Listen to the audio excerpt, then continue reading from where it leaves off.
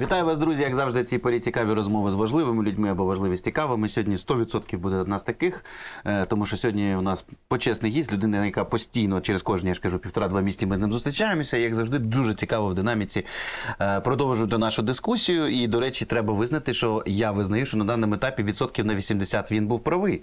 Я рідко визнаю, що я в чомусь факаплю. Зараз я це визнаю. Е, ну, але з іншого боку, на мою користь говорить те, що він викладач, тому все як би по чесноку. Тоді. Ну що я?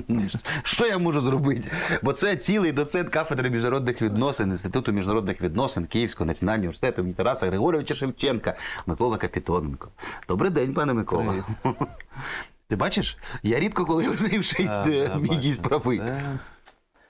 Ну, я напевно зразу давай з козирей зайдемо. Е, Наш керівник гурмо, точніше, наш, а просто керівник гурмо. Керівник нашого гурму. Е, зробив е, достатньо. е, Да, він багато їх робить, хоча слід визнати, слава Богу, він здається, прислухався до постійно матюків уже з боку людей, що типу можна як-то ви менше трендіть будете, як керівник типу розвідки воєнної. Ну так от, заявив, що світ з його точки зору стрімко рухається до глобальної війни. А це вже наша з тобою тема. Отже, твоя точка зору, ну чи дійсно це так? Е, Пару днів тому я якраз е, з цього дуже цікавого питання, пам'ятаю, давав е, коментар е, для одного із ЗМІ. І мене попросив мій колишній студент, який журналіст зараз е, е, міжнародник е, хороший, Угу. І підводив до цього питання він тим, що раптом це стало всіх цікавити. Бо люди спостерігають за тим, що відбувається, там Ізраїль, дестабілізація. І чи буде третя світова? Приблизно про це. Отак питання стояло. Ем, я, відповідаючи на це, по-перше, відзначив і зараз скажу про те, що нам треба розуміти, що ми не є людьми неупередженими в плані новин. Ми, мабуть, е, обираємо, і для нас ЗМІ обирають, і ми самі уважно е, вибираємо з того, що вони пропонують, новини, які пов'язані з е, війнами, конфліктами, кризами, насильством. Ну, я думаю, що це властиво для нашого суспільства, для психіки його. І це треба зрозуміти і врахувати при тому, як ми оці- наскільки об'єктивно ми оцінюємо реальність. Бо так само я із студентами, як правило, на початку семестру теж проводжу дискусію в рамках одного з курсів про те, як ми можемо виміряти стан безпеки сучасного світу. Чи є якісь е, критерії, чи є якісь там таблиця якась, чи щось там, одиниця виміру цього. З одного боку, ну, звичайно, дискусія на а, в інституті проходить більш такому академічному руслі, і там розмови про третю світову вони такі е, потребують і вимагають якоїсь аргументації. І якщо коли студенти починають шукати аргументацію, вона, як правило, знаходиться в а, аналізі тенденцій, е, фактів, е, які сконцентровані в світі конфліктів, чи стає конфліктів війн більше, чи стають вони інтенсивнішими.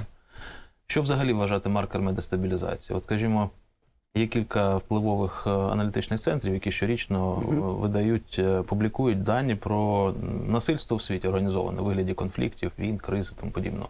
У них є своя класифікація, вони там працюють над критеріями. І вони традиційно е, рахують кількість конфліктів. Конфлікти це розбивають по групах, там війни, конфлікти низької інтенсивності, ще якісь там внутрішні, міждержавні. І, до речі, з одним з них наші експерти часто сперечаються з приводу того, що, скажімо, е, російсько-український конфлікт між 14-22 роком мало хто вважав війною. Бо за формальними ознаками він за кількістю загиблих щорічних не попадав в цю категорію. Ти А, про кого зараз? Про, менш- ти, ти, ти про Стратфорд чи про кого ти зараз говориш? Я про Сіпрі зараз. А. Але є кілька таких е, впливових е, достатньо організацій, які намагаються в якийсь об'єктивний спосіб зрозуміти, що в світі відбувається. Хтось з них слідкує за тим, скільки зброї виробляється, наприклад, скільки грошей в відсотках від загальної економіки світу витрачається на зброю. І вважають, що якщо їх більше витрачать починають в світі в цілому, то це ознака якоїсь дестабілізації. От, пожалуйста. Хтось, е, наприклад, вимірює кількість і інтенсивність терактів. Зараз меншою мірою. Раніше, коли тероризм вважався більше людей вважали, що це загроза, більшою мірою також вимірювали тероризм. Ядерна зброя, стан режиму розповсюдження, що там з ним відбувається, в якому він стані, теж був і традиційно є одним з критеріїв.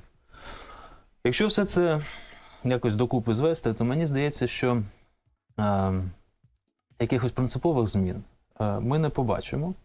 Навіть 22-й рік, коли в Європі розпочалась велика конвенційна війна, якої давно не було, так, це буде сплеск, і це для регіону Європи конкретно велика проблема, яка свідчить про те, що безпека Європи підірвана. Але в загальносвітових тенденціях, е, можливо, це і не означало б автоматично, що в світі щось відбувається, якась принципова дестабілізація, якої не було раніше. Війни, насильство були раніше, міждержавні були рідкістю, правда. І це винятковий випадок, е, що одна країна нападає на іншу, тим більше анексує територію, купує і так далі. Але е, насильство завжди десь тут в різних формах було поруч. Проблема з цим, як на мене, полягає в тому, що якщо ми підемо таким формальним шляхом, який, однак, все-таки дає якусь основу під наші прогнози про те, буде глобальна війна чи не буде, е, повної відповіді ми не отримуємо. Бо, як на мене, отакі речі, е, війни, регіональні конфлікти, е, всередині країни якісь проблеми, терористичні атаки, вони є симптомами скоріше того, що з міжнародною безпекою щось відбувається. І останнім часом справді більше підстав думати, що з нею щось не те. Е, Знаходити паралелі з історичними подіями. Я цього не дуже люблю, е, бо вважаю події історично унікальними, але деякі Аналогії, Аналогії віриш? проводити можна. Ну, я вірю в них, але і треба робити купу різних е, Ну, да. застережень.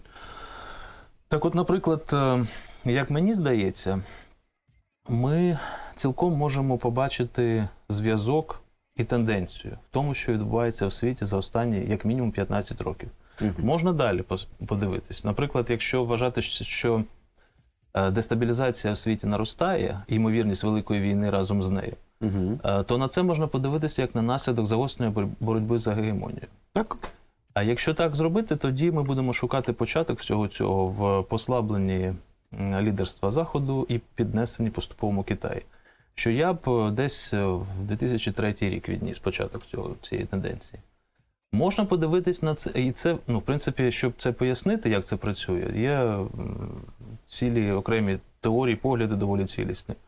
І там є свої закономірності, за якими держави, які претендують на гегемонію, як вони приймають рішення, що відбувається, коли розрив між претендентом і гегемоном звужується, як це впливає на ймовірність війни і так далі. Є інший е, погляд, е, який е, може пояснити, в якому стані знаходиться безпека, наслідками довгостро- довгостроковими наслідками е, економічних циклів глобальних. Тобто економіка світова розвивається циклічно, є е, стабілізації цикли, піднесення, є цикли кризи, занепаду, і вони повторюються час від часу. І якщо ми подивимось на наслідки таких криз в різні часи, скажімо, в ХХ столітті. Ми побачимо схожість, е, що відбувається із світом і з окремими державами, коли настає гостра економічна криза. От така, як була в 2008-2009 році. Це призводить до того, що е, грошей стає менше в, різних країнах. В бідних країнах розпочинається боротьба за переділ цього. Починається внутрішня дестабілізація Арабська весна. починаються революції, починаються, загострюється слабкість інституційних держав, вони можуть розпадатись. Е, Починаються також регіональні різні конфлікти і проблеми. Далі це все переходить на глобальний рівень, коли між собою за перерозподіл цих грошей і способу отримання цих грошей в боротьбу вступають е, великі держави, розвинені з великими економіками. Е, Що теж е, призводить до того, що в тих чи інших регіонах іноді випадково, іноді там просто спираючись на якісь старі проблеми, виникають і загострюються конфлікти і кризи. І в цьому сенсі наша війна або інші приклади дестабілізації, вони вкладаються в цю тенденцію. В них є глибокі, непомітні, можливо, одразу тенденції. Ці ж процеси ведуть до того, що е, коли починається дестабілізація, е, змінюються настрої в суспільствах. Наприклад, зростає попит на автократів.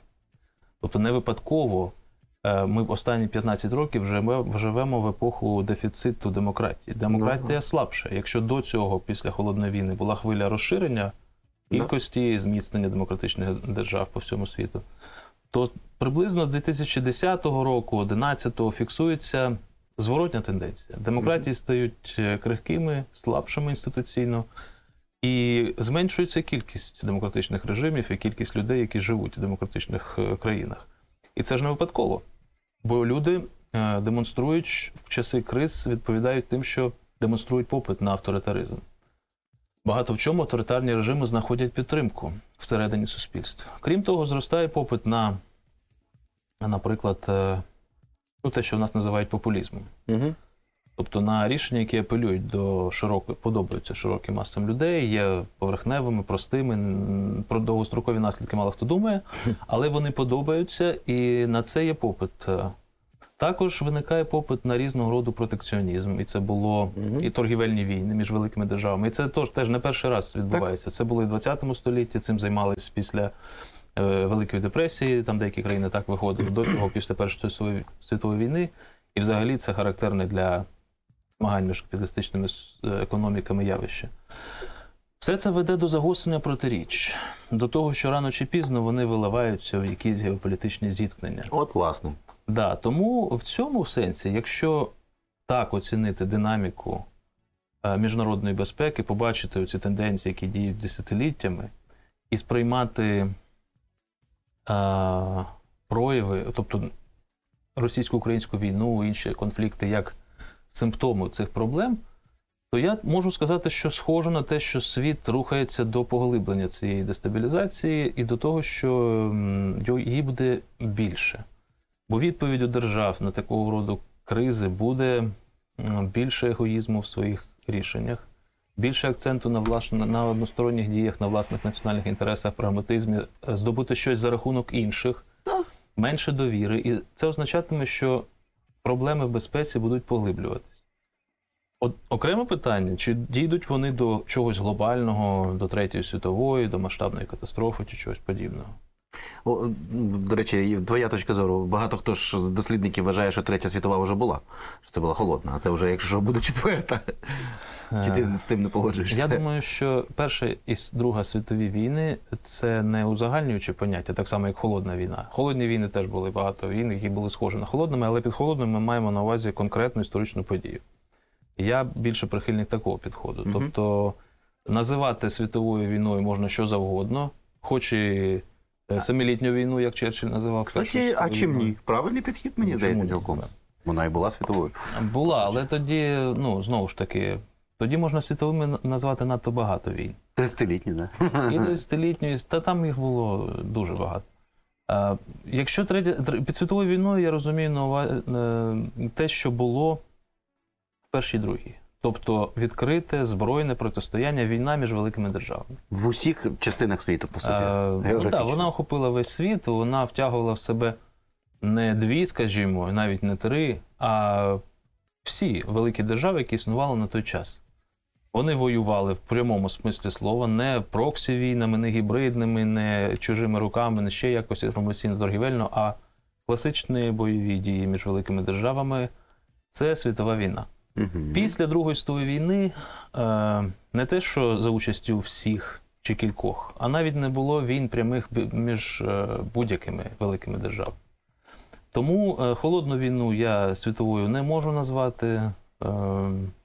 Взагалі вважаю, що холодна війна була, ну, знову ж таки, ми переоцінюємо її значення, бо Радянський Союз був в цьому напряму задіяний, і він е, створив навколо холодної війни цілу міфологію. Вона була стрижнем зовнішньої політики і частиною офіційної державної пропаганди. А насправді я думаю, що е, зміст холодної війни полягав е, не в такій собі боротьбі за владу над світом між добром і злом, а це був виклик, який слабка держава Радянський Союз в порівнянні з Сполученими Штатами кинула гегемону. Тобто на 50-й рік, 1950-й, коли почала починалась холодна війна, гегемонія США досягла свого піку. США наблизились до такого статусу, який до них, до них жодна держава в новий, новий, новий, новий час е, не досягала цього статусу. Ніхто не був ближчий до гегемона загальносвітового, Ані Китай е, на початку, ані е, Голландія, ані Британія Ні, Іспанія. Е, Ну, ті тим більше. Ці от е, три основні були, які теж наближались до цього, але США перевищили їх, і в них був статус у міжнародній системі і можливості впливати на неї незрівнянно більше, ніж у цих трьох держав перед ними. Радянський Союз кинув цьому виклик, знаходячись в дуже слабкій і вразливій позиції, і програв.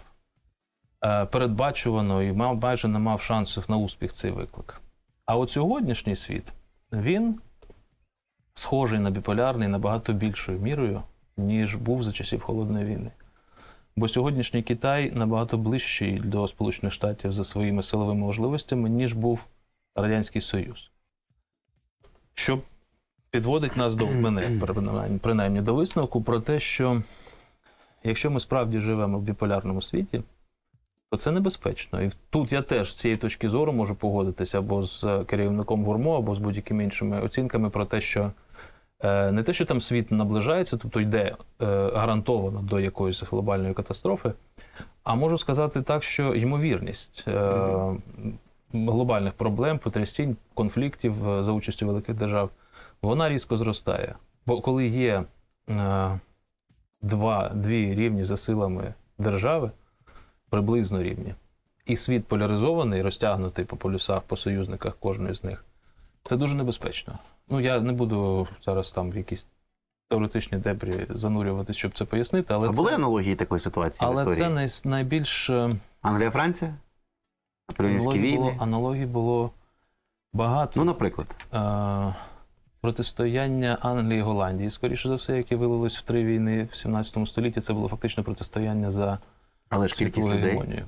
Кількість людей. Кількість тоді все було іншим, все було меншим. Але Окей. за, за структурою ст- ситуація була такою ж. Дехто розглядає Першу світову війну як таку, яка виникла не в мультиполярній системі, а в такій, які вже фактично стали біполярною, бо утворились два постійні Це. Англія і Німеччина, ти маєш на Е, увазі, чи хто? Антанта і Троїстий А, Союз. от так. да. Ну, окей, добре.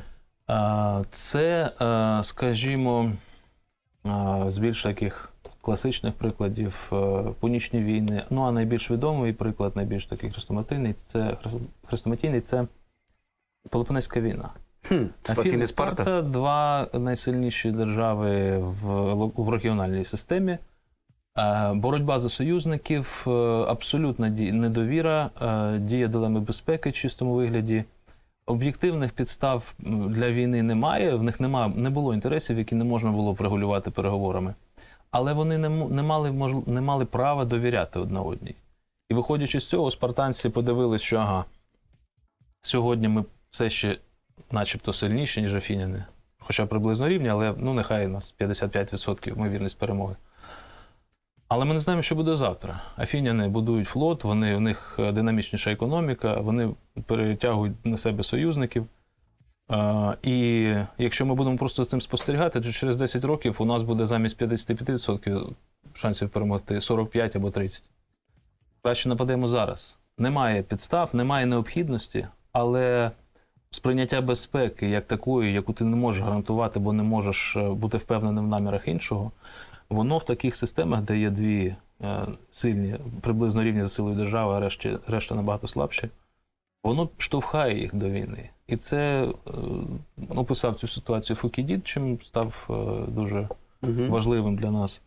А, а відтворюється вона в будь-яких таких біполярних протистояннях, тому такі системи, схожі на систему Афіни Спарта, вони дуже небезпечні. Люди. А у нас дійсно така система зараз, ти вважаєш? Саме Афіни Спарта? Я думаю, що наша сьогоднішня система набагато більше схожа на те, що було тоді в 5 столітті до нашої ери, ніж е, була е, радянсько-американське протистояння часів холодної війни. Цікаво, дуже цікаво. Люди стали помічати це. Наприклад, є А чому? Які ще сили були в світі, коли був Сполучені Штати і радянська система? Там движение неприсоединения, ну come on, ну там не було реально достатньо серйозних сил, які могли би дійсно бути якоюсь противагою. Чому ти вважаєш, що та система теж не була Афіна Спарта? Поясни, будь ласка. Бо там не було силової рівноваги. Радянський Союз ніколи не наближався навіть до Сполучених Штатів за своїми можливостями. А ти згадай істерику кінця 50-х років, Ну, коли що? американці вважали, що радянський союз їх обганяє по кількості Ну, те, ядерних що ракет. вони там вважали, і те, що могли, про що могли е, оголошувати на мітингах, чи в, чи в Конгресі, чи процесі виборів це одне. А насправді Радянський Союз. е, Дивлячись по чому. Ну, основа могутності сучасної держави це економіка. І в за часів Холодної війни теж було так само. Радянський Союз е, в часи Хрущова найменше був відрив від Сполучених Штатів, але все одно він майже в- там скільки вдвічі поступався американській економіці. В 80-х це вже був відрив е, в два з половиною в три рази. Не кажучи вже про те, що якщо ми додамо до Сполучених Штатів потенціал їхніх союзників, Ну да, це не порівняна історія. то силової рівноваги не буде. Тому, тому ми багато чого не бачили в холодній війні. Ми не бачили прямої війни, бо Радянський Союз не мав шансів її виграти, тому боявся її. Ми бачили протистояння, яке знаходило вираження своє в регіональних конфліктах. Ми бачили багато перемовин. В принципі, Радянський Союз готовий був платити за стабілізацію, е, за те, щоб е, про щось домовитись. І гостра фаза е, холодної війни вона тривала не так вже й довго. Десь там після Хельсінського процесу в 75-му році почалася вже зовсім інша історія. Дехто навіть не вважає, що це була вже холодна війна. Серйозно, а початок 80-х, коли реально світ стояв на грані ядерного До речі, друзі, це був як ніяк не Карибська криза, а саме 83-й рік. Багато хто про Я це думаю, забуває. що ймовірність, ну. Ну ти згадай цю історію. Перебільшено. Я зрозумію і цю історію, і карибську історію, але мені здається, що знову ж таки ядерний фактор був перебільшений. Ядерна зброя врятувала Радянський Союз, е, зробила його, Недоторканним. да, розтягла його існування і оцей е, його роль е, конкурента глобального американського впливу на кілька десятиліть. Але за великим рахунком шансів у Радянського Союзу не було, бо не було силової рівноваги. Основного, що потребують такі системи, бо там є підрахунок шансів, який грає ключову роль. А, а сьогоднішня небезпека сьогоднішньої ситуації, коли Китай нас доганяє Сполучені Штати, була помічена ще раніше, коли цей розрив був більшим. І деякі американські дослідники навіть е, застосували термін, який називається пастка Фукідіда. Порівнюючи протистояння, яке намічалось між Сполученими Штатами і Китаєм, якраз з тим протистоянням між Афінами і Спартою, яке описував Фукідіт. І це е, небезпечна насправді історія. Тут скриється ризик е, великої масштабної дестабілізації і е, світової війни чи не світової, бо дуже важко цими ризиками управляти. На е, карті стоїть дуже багато фактично це майбутнє світу. І якщо ти, сильно відстаєш, то ймовірність того, що ти домовишся, вона вища, ніж якщо ти вважаєш, що твої шанси на перемогу в прямому конфлікті дорівнюють майже 50%, а якщо трохи переоцінити власні сили, то взагалі отримаєш картину е, більшу за 50%. Тоді в тебе стимулів домовлятися менше і більше бажання повоювати. Хто у нас Спарта сьогодні? Це американці? А Афіни за, це логі- Китай. за логікою Фукідіда, так. Да. Ага. за аналогіями з е, Пелопонезькою війною, звичайно, було б так. Але як я сказав, аналогії ми маємо проводити обережно. А е, виграє Македонія, да? А хто у нас в. Македонії є? Чи хто? Чи Індія? Ну, Македонія між е, Пелопонезькою війною, який формально перемогла Спарта, але завершилось це все для неї не дуже добре, бо да. Е, І зростання Македонії пройшов певний час. Звичайно. Е, Да. Хто буде Македонією, невідомо. Можливо, Індія. Ну, але ж вона зовсім з іншої.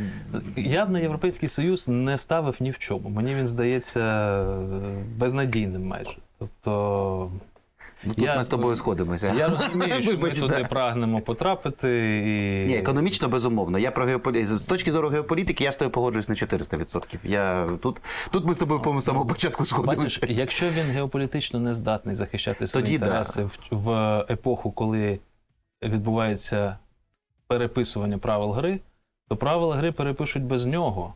А це президент... правила гри вони про те, хто на кому заробляє, якщо просто говорити. І от, власне, Повертаючись, це черговий раз ми з тобою говоримо на тему Європейського Союзу. От все-таки я ще раз е, зроблю наголос на цьому питанні, тому що це дуже цікаво з точки зору наших перспектив, українських. Бо зараз ми бачимо дуже цікаву історію, що Європейський Союз навіть більше вже нам дає грошей, ніж дає Америка.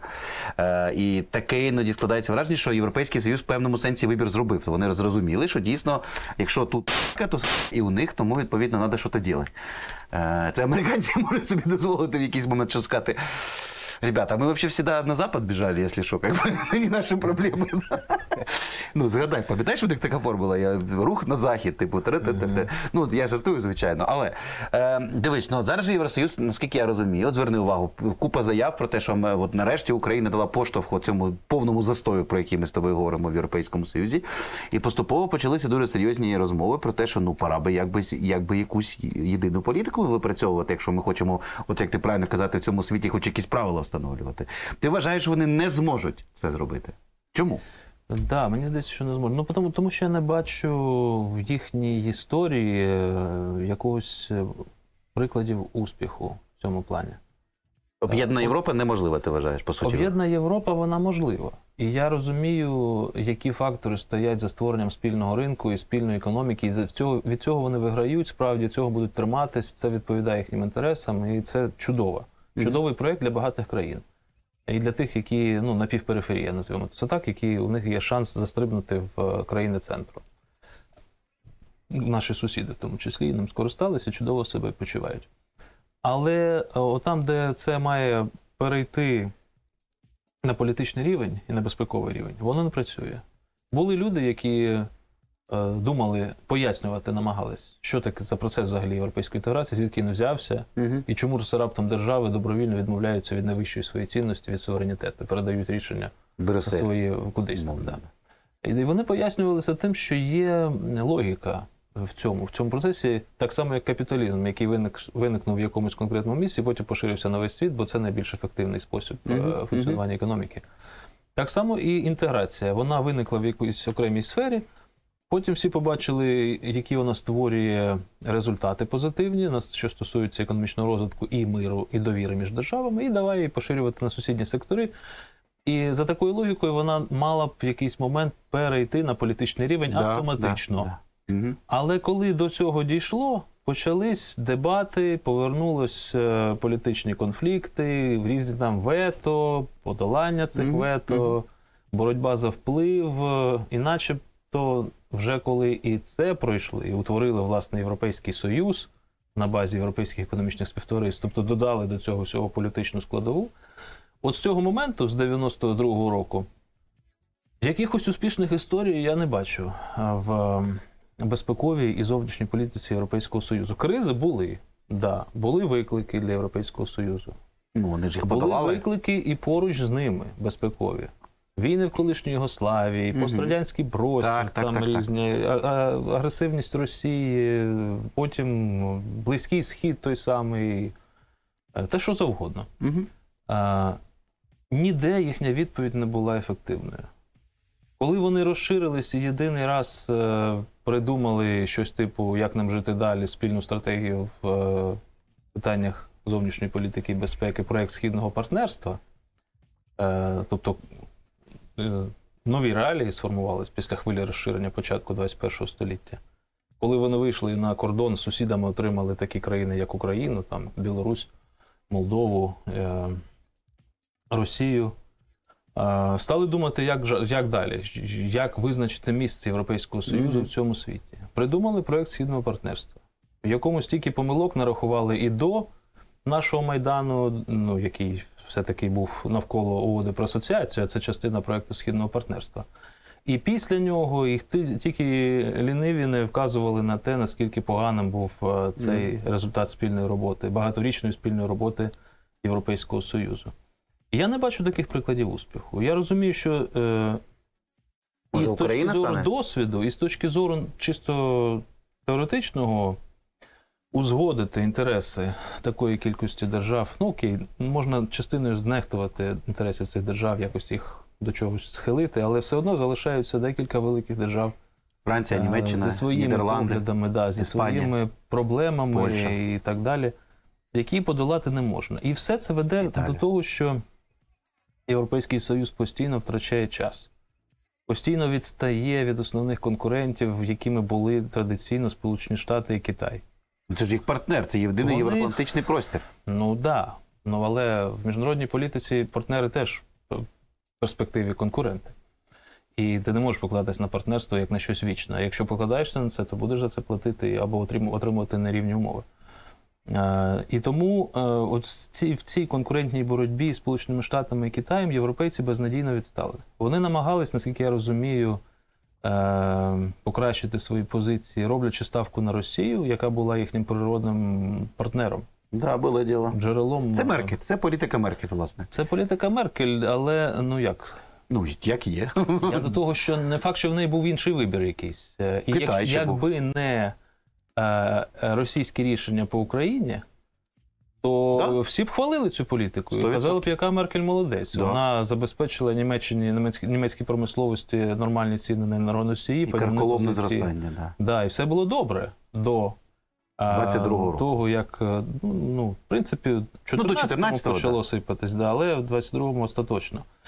І відповіді я досі не бачу на цю кризу якоїсь змістовної. Ну, був 22-й рік, було вторгнення, була промова Шольца про те, що от настав переламний момент в історії, Zeitenwende, або як воно німецькою. Да, це да. Е, що все зараз Німеччина закине всі свої попередні погляди і тепер по-новому запропонує лідерство, витрати на оборону і візьме на себе ініціативу.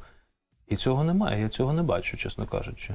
Я бачу, що розмови є, а фактично все звелось до якогось такого хаотичного пошуку відповіді на питання, що далі робити з енергосіями, як компенсувати втрати від розриву зв'язків з Росією, як не надто сильно відстати при цьому, вже не тільки від Китаю і Сполучених Штатів, але й від Індії в перспективі.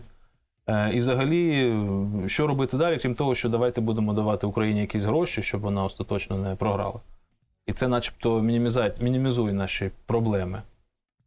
І все, далі я стратегії не бачу. Були якісь натяки на те, що вони зможуть е, абсолютно новій ситуації вийти за рамки таких рутинних бюрократичних уявлень про те, як все воно працює. І, наприклад, е, зможуть прийняти рішення про прийняття України до Європейського Союзу. Наприклад. Що ну ми з тобою здається це обговорювали. Да. і Я залишаюсь е, погляд у мене на це залишається приблизно таким, як і був. Що вступ України до ЄС для Європейського Союзу це проблема, ризик і велика ціна, але ціна продовження війни Ще в нинішньому вигляді, вигляді для Європи ще більше. Якби вони це усвідомили і все-таки цей крок зробили, тоді це могло б говорити про, про якісь зміни. Але час для цього пройшов. Це можна було робити в 22-му році. І, е, очевидно, вони обрали інший підхід, знов такий десь посередині. Давайте ми дамо статус кандидата, начебто, наче треба щось дати. А далі відкриємо безкінечні переговори, де будемо висувати свої умови і захищати свої інтереси. Ну, коротше, це буде 30-32 рік, не Як, раніше. е, як угода про асоціацію у нас переговори були, скільки там років? е, Шість, мабуть, якщо не більше. То можу уявити тільки, скільки можуть тривати переговори Десять. про вступ. 10 не менше. Ну, я навіть не, не, не, думаю про конкретні терміни. І Ну, навіть це не Борель хочу- сказав, 30-й рік. І, ну, Борель сказав, але він, е, він не від нього тут воно залежить. Е, Так само, як і не від Столтенберга наш вступ до НАТО. 100%. Е, Я просто навіть боюсь уявити, що до того моменту буде з самим Європейським Союзом, і що, що це буде за утворення. Раніше це був таке революційна лабораторія нових підходів в міжнародній політиці, чогось принципово нового, що, начебто, дозволяло подолати обмеження і проблеми, пов'язані з взаємодією національних держав е, в нормальному вигляді, що, яка створювала в Європі постійні війни, напругу там і все таке. А тут вони навчились на новій повністю основі організувати відносини між старими суперниками і зробити це в мирний спосіб, який приніс процвітання всім. І тому ентузіазму і оптимізму з цього приводу було набагато більше, звичайно, в минулому. Але зараз, е, ну, як на мене, вони дуже Стагнація. погані результати демонструють. Да. Для них ця війна величезний виклик, тому вони і готові, і змушені за неї платити, і часом і більше, ніж Сполучені Штати. Бо для них вона набагато більша проблема, ніж для Сполучених Штатів. Ну так. Але що з нею робити, вони не думаю, що знають. Тобто, грубо кажучи, ні про який геополітичний проект Євросоюз як об'єднаної Європи говорити, на мій на твій погляд, Да. Ну тобто воно, воно є, він є Євросоюз. Він- Як геополітичний гравець, я маю. Як гравець проактивну Окей, позицію. Туреччина. він- От, наприклад, історія з Туреччиною. На днях, як ти пам'ятаєш, Ердоган черговий раз там спочатку пнув Європу, а потім сказав, що ви нас не берете, ах, ви сволочі. Но наша мета все одно стати членом Європейського Союзу через два дні. Ну, я тобі кажу, серйозно. Ні, ну, До речі, ні, я серйозно, турки хочуть ЄС уже, чи вже їй воно нафіг не треба? Мені цікаво буде, чи е, буде в нас колись щось схоже, коли м, тематика Євросоюзу залишиться і членство в Євросоюзі стане темою для тролінгу, Мгм. яка буде е, розігруватися всередині.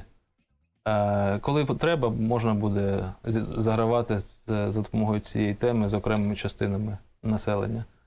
А в інші періоди робити ставку на те, що нам ніякий Європейський Союз не потрібен. Ми самі собі е, сильна держава, регіональний лідер і відстоюємо свої інтереси.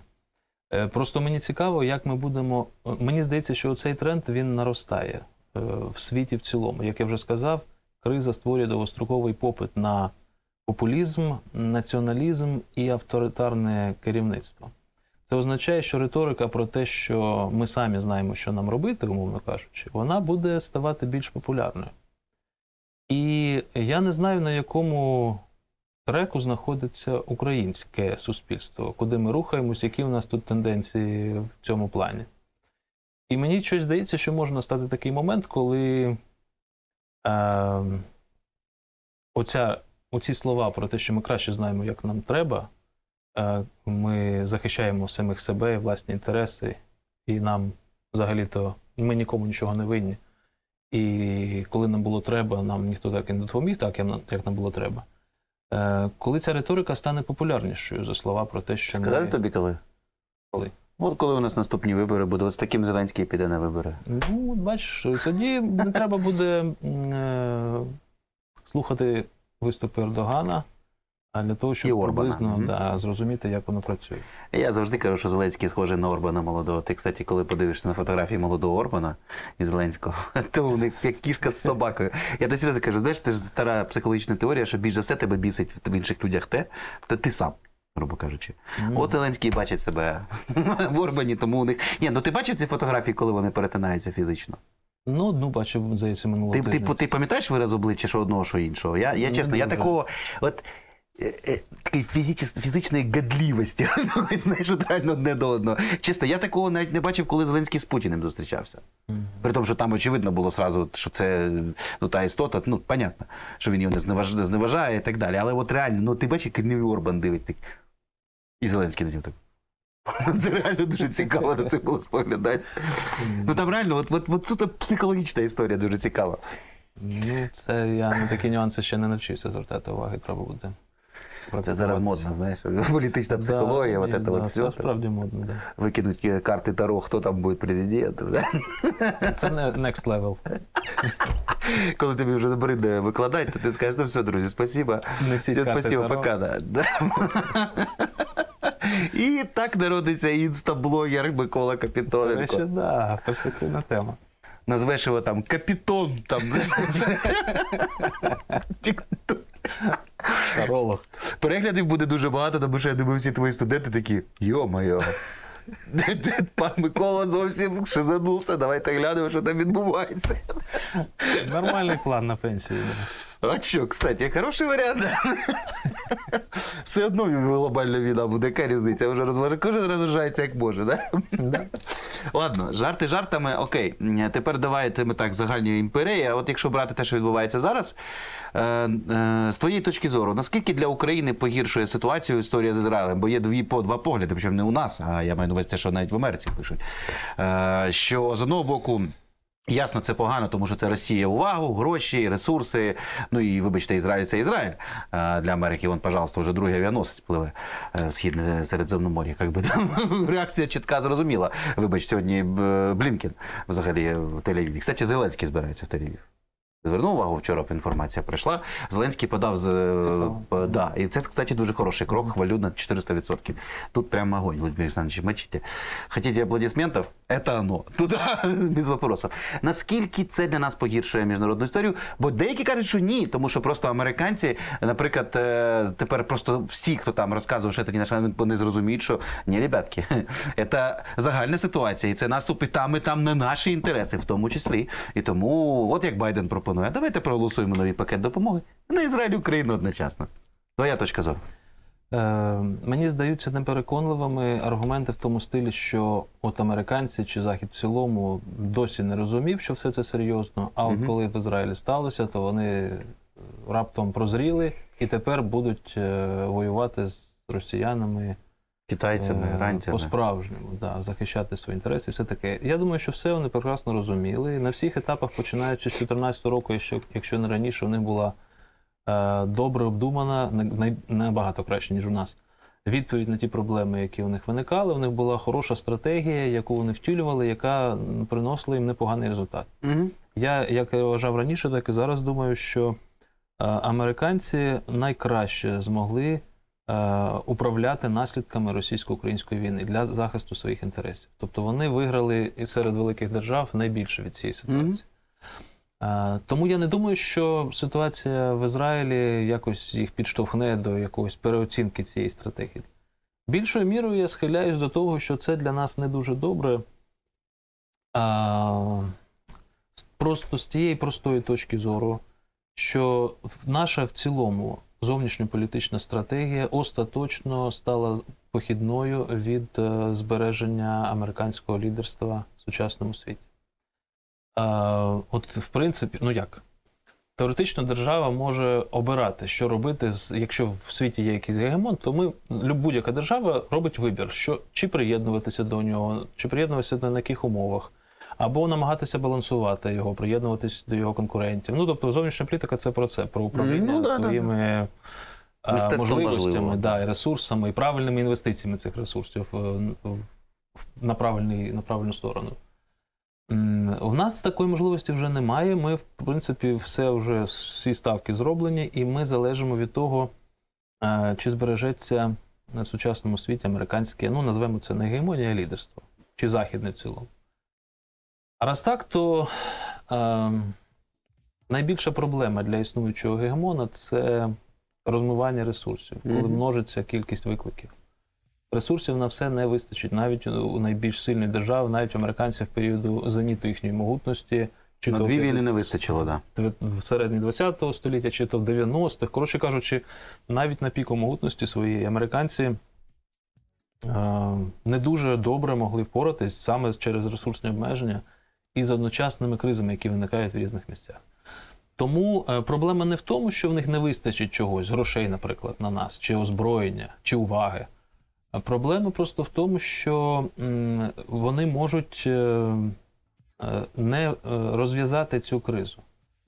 І якщо так, то виникне загроза їхньому становищу в міжнародній системі, а разом з ними виникне загроза для нас. У нас вже немає іншого виходу, як я вчора прочитав хороші хорошій статті Павла Клімкіна висновок про те, що Україна не має іншого вибору вже, крім як е, бути прозахідною, мати стати частиною заходу, якщо я правильно А що у нас був вибір колись? А, Стати частиною є, є як ти назвалась там я вже забув, Євразес? Чи там, я не знаю, китайським е, порт, портом китайським Європу, чи що у нас, який у нас був вибір ще, як об'єктивно ну, кажучи? подивись, що яка, яка була зовнішня політика протягом 30 років. Ти маєш на увазі багатовекторність Леоніда Даніловича? Ну, різні ж були стратегії зовнішньої політики. Умови були іншими. Ну, тобто, умови змінюються, і зараз умови дозмінювалися до того, що у нас немає іншого вибору, і ми залежимо від долі Сполучених Штатів. А для Сполучених Штатів проблема, якщо одночасно виникають кризи в різних місцях. Е, якщо тільки вони не можуть цими кризами використати їх у власних інтересах. Ну, наша криза їм точно А, сильно в шкоду не пішла, м'яко кажучи, давай скажемо чесно. Якщо можуть, тобто я не знаю поки, як буде розвиватися ситуація е, в Ізраїлі в цілому на Близькому Сході.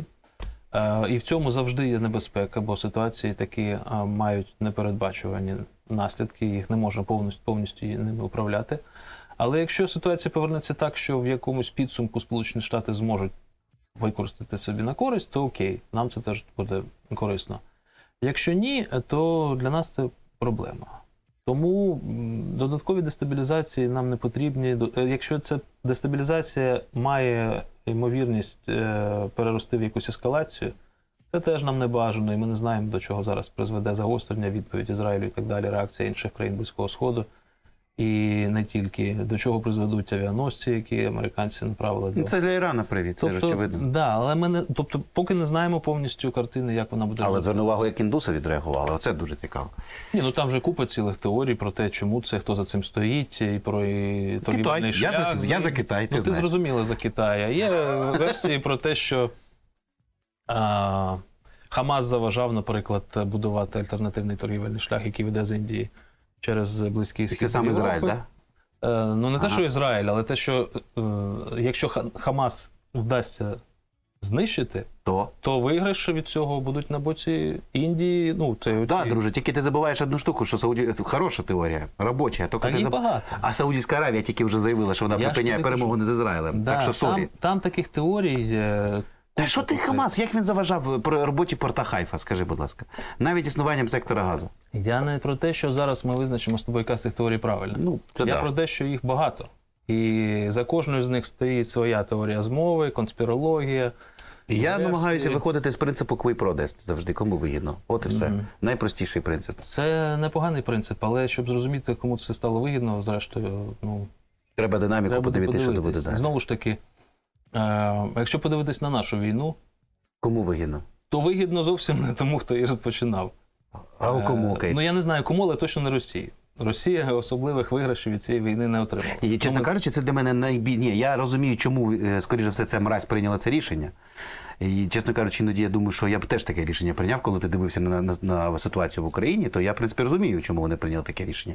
Але я не розумію, для чого. Я як, Хоч, ну, я, як справжній політолог, е, можу навіть пояснити, навіть статтю написав. Ну е, так, на да, цей- да. Я розумію, що вони хотіли отримати, да. ну, А, але... але е, з, з іншого боку, ну якщо вже так коротко прокоментувати цю це все, то е, з іншого боку, ми поки, ми поки не знаємо, чим це завершиться, і ми не можемо точно сказати, що там Росія в підсумку виграла, програла, якою ціною.